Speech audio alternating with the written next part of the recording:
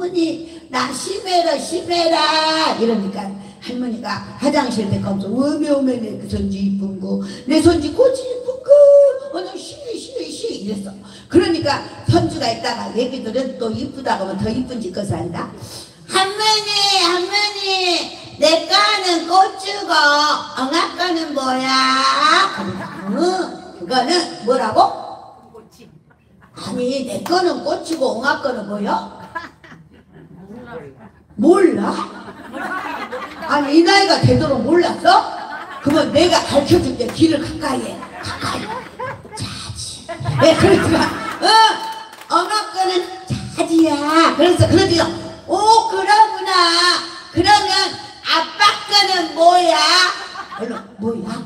한자야 한자 몰라? 몰라? 회장님 뭐야? 어? 말 지어 지어 어따 그것이 근절이야 저 그런 거야?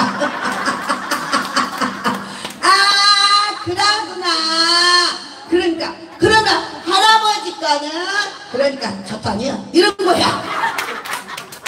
그러니까 조금 있으니까 띵동띵동 울린 거야. 그래갖고 할머니가 아가 누가 왔는가 봐봐라. 그러니까 딱 내다보고 어이 저도 아니네. 이랬어 이제 여기까지는 내가 이야기를 했어. 이제 후탄이 나왔어. 할아버지가 너무 가슴이 아픈 거야.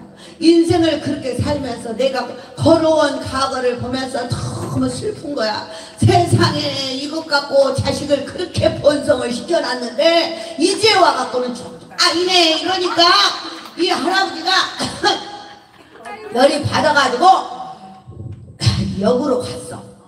역으로 가갖고 기차 레일 있지? 철로 레일. 거기에다가 에라이 문디 같은 거 죽여버리자 그래. 이런 거 올려놓고 이러고 있었어.